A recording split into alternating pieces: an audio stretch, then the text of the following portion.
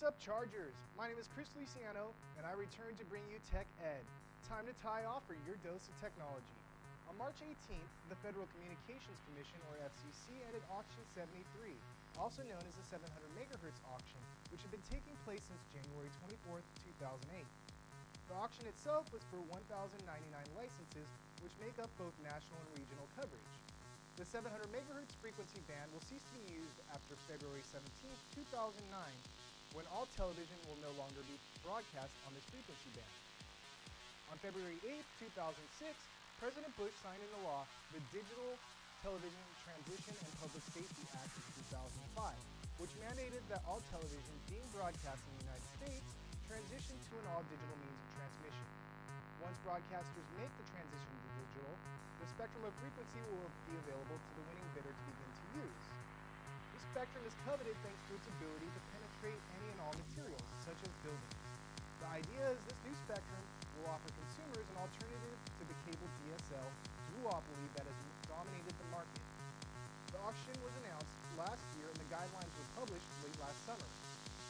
of the bidders, Google Inc., wanted the FCC to mandate some conditions for their auction.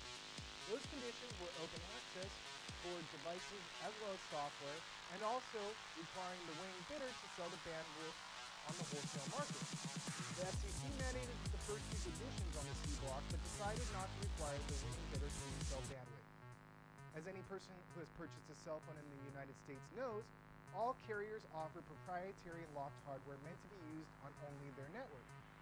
These standards are great for business, but bad for consumers and stifle the overall advancement of technology. Two of Google's requests to the FCC were granted, but not without some backlash by other bidders, mainly Verizon Wireless, who filed a lawsuit against the FCC proclaiming that the requirements of open access violate the U.S. Constitution as well as the Administrative and Procedures Act. Verizon later quietly dropped the case against the FCC. The auction raised a record $19.592 billion, advanced new wireless open platform policies, created opportunities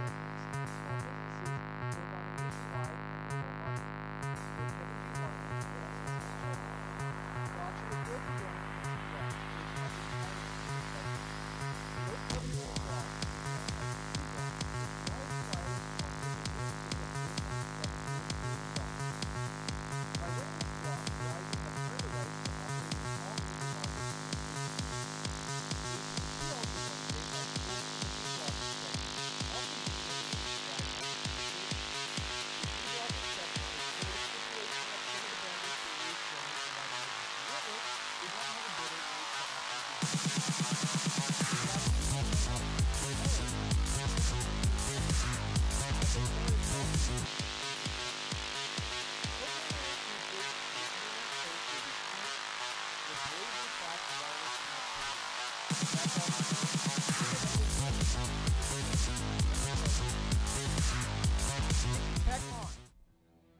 off with men's baseball, the Chargers lost to Golden West Thursday 6-4. Center fielder Michael Nesbitt contributed one run, two hits, and two RBIs to the game. Cypress falls to 18-1 overall and 3-4 in conference. Cypress will face Irvine Valley at home Tuesday at 2.30 p.m. Now moving on to women's softball. The Lady Chargers won their 33rd consecutive game Sunday against Long Beach. The, record carries over from last season, which they ended 29-0. They played four games this weekend and won them all. They play again on Monday. Cypress will be facing Mount Sac at Mount Sac at 6 p.m. Now on to men's tennis. Cypress defeated Irvine Valley 5-4 Thursday after defeating Fullerton 8-1 on Tuesday. Thompson won his two matches 6-0 each time. Cypress improves to 6-10 overall and 4-6 in conference. C-Scope. I'm Edward Derbes. Good luck.